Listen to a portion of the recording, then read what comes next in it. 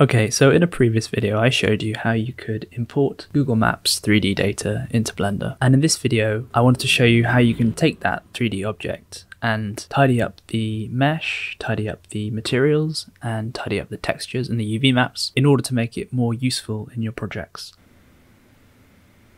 So the first issue is that the 3D data comes in in lots of these little tiles, and it would be nicer if it was joined together all as one object. So I'm going to go over here, select the collection, right click, go to select objects, and that will select all of the objects in the collection. Then I'm going to press Ctrl J to join them together. So because of the way that these tiles are arranged, there's going to be lots of overlapping vertices inside the mesh.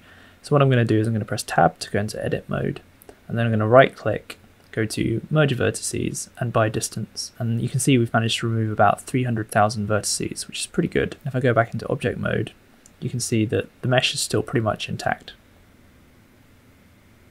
So now that we've joined all of our objects together, we can go over to the material tab. And we can see here that we have basically hundreds of materials and each one applies to one of the original tiles that we had. And what I want to do is basically combine all these materials into one with a single texture and a single UV map. So first of all, I'm going to duplicate the object. So with the object selected, I'm going to press Shift D and then press Escape. And you can see in the outliner here that we have two objects now. So I'm going to turn off the visibility of the first one and select the second one. And then we could go through and delete all of these materials one by one, but there's a quicker way to do this, and that's using a script. So if we just pull this workspace into two and then change it to the text editor. And if I create a new text and then I'll put the code in the description, you can just paste that into here. So here is the code. And basically what this does is it takes the active object and goes through each material slot which is these, and then just removes them. So if I go over to where it says run script and press this, we can see that all the materials have now been removed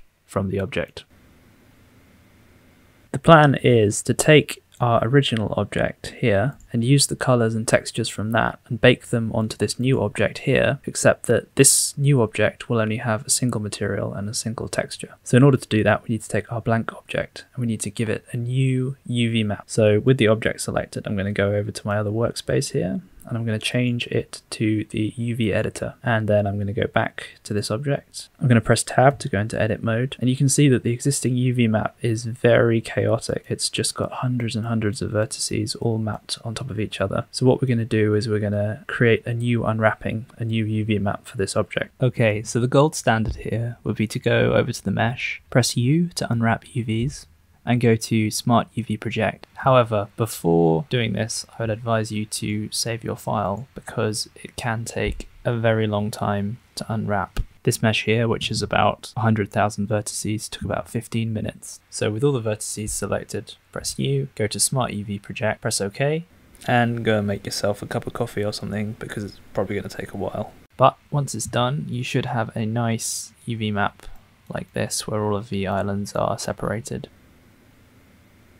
So if you can't afford to gamble with time, there's a quicker way to do this, which gives you slightly inferior results, but is still a pretty good way to unwrap the model. So to do that, we need to export this object as an OBJ and then bring it into a free software called MeshLab. Link in the description. So I'm going to press tab to go into object mode.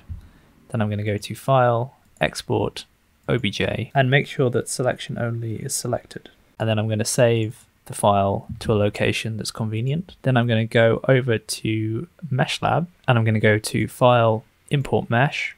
Then I'm going to choose the mesh that I just exported and you should see it appear in the viewport here. You can click to navigate. And then with the mesh selected here, I'm going to go to filters, texture and parameterization trivial per triangle. I'm going to set the texture dimension in pixels to 8192 and I'm going to leave the inter triangle border at 2 pixels going to press apply and it should do it pretty quickly. And then if I go to render and show UV tex param, you should see this little overlay pop up, which has all of the triangles neatly laid out into a big grid. And so now we can export this back to the OBJ and then put it back into Blender. So with it selected again, I'm going to go to File, Export Mesh, and I'm just going to disable normal and face color and leave texture coordinates enabled. Press OK, and that will save it back to the OBJ file that we just created. So now we can go back to Blender. And in Blender, I'm going to delete the duplicated object. I'm going to go to File, Import, OBJ. Then I'm going to select the OBJ again and press Import. And now if I select the object, press Tab, we can see that we've got that nice gridded UV map that we took from MeshLab. So now we're ready to bake the texture from the original object, this one, onto the new object, this one. Um, and in order to do that, we need to make sure that the new object has got a material.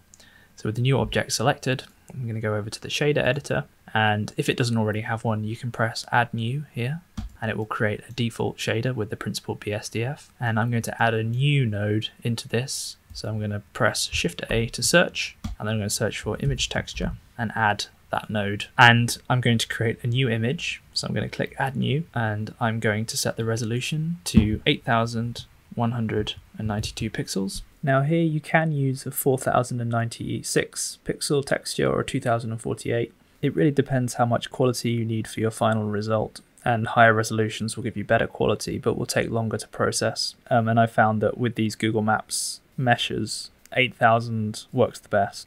I'm going to set the background as black with alpha set to zero, so it's transparent. And then I'm going to press OK. And I'm not going to link it up to the node tree just yet because it needs to be disconnected for baking. So now we're ready to set our bake settings. And in order to do that, I'm going to go over to the render properties panel and I'm going to make sure that I've changed my render engine to cycles. So whilst making this tutorial, one thing I tried was setting the device to GPU and I found that it produced glitchy results. So if you're having trouble with glitches, I'd recommend keeping this set to CPU. And then I'm going to go down to the bake section and under bake type I'm going to choose diffuse because we only want the color and I'm going to disable direct and I'm going to disable indirect. I'm going to select this option here selected to active because we're going to do a selective to active bake. In the settings under that I'm going to choose a ray distance of 0.1 and that's going to very slightly offset the new mesh away from the existing one so that the color rays can be transferred on the inside and in this section here where it says output I'm going to change the margin to one pixel so now we're pretty much ready to bake. Baking can take a long time, so at this point it's a good idea to save your file. And so with this new image texture selected, I'm going to turn on my existing mesh. I'm going to select it and then holding down control, I'm going to select my new mesh and we're ready to press bake. And again here, depending on your computer, this may take a long time, but this time at least we have a progress bar. So now that the baking is finished, we can connect the color output to the principled BSDF in the shader editor. And if I then turn off the visibility for my original object, we can see that the texture that we baked is now being mapped onto our geometry. So we successfully transferred it. Um, you might find that this specular value is turned up um, on the principled BSDF, so you might want to turn that down. And the other thing that you'll want to do is save the image that was generated. So here I'm just going to rename the image quickly. I'm going to call it baked texture. Then I'm going to go over to the image editor. Uh, I'm going to select baked texture from the drop down menu. Uh, there it is. And I'm just going to go to image, save as, and then I'm just going to save it in a location that's useful for me. Um, I'm going to use a PNG. That's good if you want to preserve the transparency, but you can also use a JPEG. And that's basically how you clean up a mesh that's been imported from Google Maps 3D. Thank you very much for watching.